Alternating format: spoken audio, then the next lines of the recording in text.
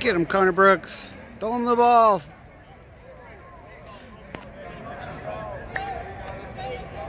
Two twenty-one. Hit him.